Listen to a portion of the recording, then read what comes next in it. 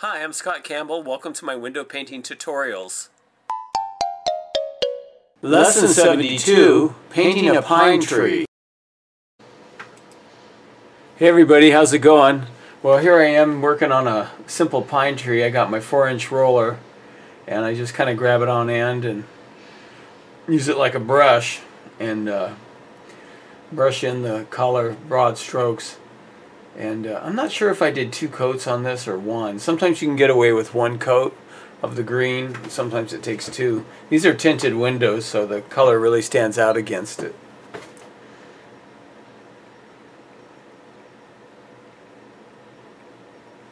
You can also use uh, the 2 inch foam brush too if you're more comfortable with that. I usually draw a line down the center and then just paint it in.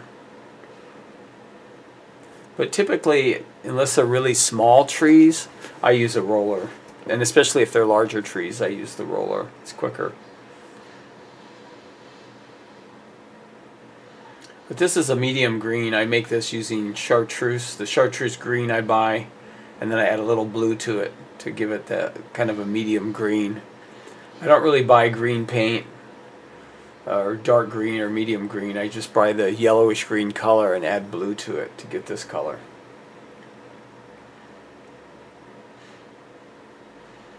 So here I'm pouring in some of the the lime green color that I buy by the gallon.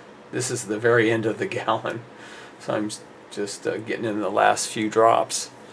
And then uh, I go ahead and add a, a dark blue to it and I'll get a shot of this close up so you can see the two colors.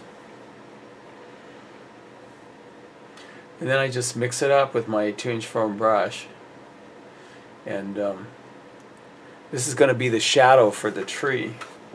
These trees are really quick and I just kind of do a sweeping motion and what I'm doing here is I'm going to create kind of a shadow on the right side of the tree and then along the bottom too.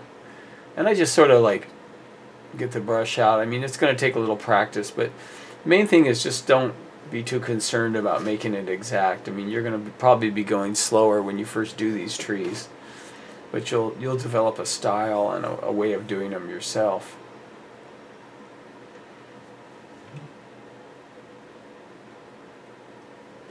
So I got the shadow done.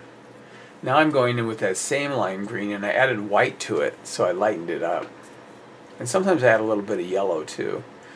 And on this side I get a like a sweeping motion, almost like a circular motion going like this. And it, it just creates a flare and it gives it that that uh, that look. It just makes it cartoony but at the same time it gives it a th three-dimensionality to it. Then I go in with my two inch razor and uh, I kind of put my finger up against it to grab grab the paint. Sometimes I just smush the paint on my my hoodie. So here I'm just cleaning up the edge and that's it. It's all done. So here's some pictures of the trees I did. I did quite a few of them on this window. It's a great way for filling up space and giving it a an atmospheric theme. Sometimes I add faces to them. You've seen these before. This is the door, and I did a bunch of magic and flying snowflakes. And this is on the other side. It did another tree with the face sort of facing the other way. And here's some uh, some of the other stuff I did on. It's an auto body place, so got Santa and a hot rod.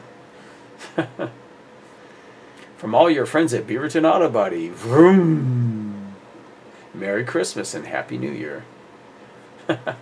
hey, thanks for watching. See you next time.